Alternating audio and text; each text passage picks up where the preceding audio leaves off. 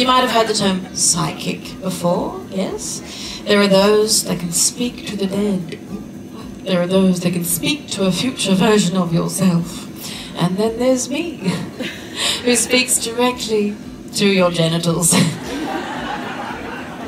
Which in some cases is like speaking to the dead. Uh,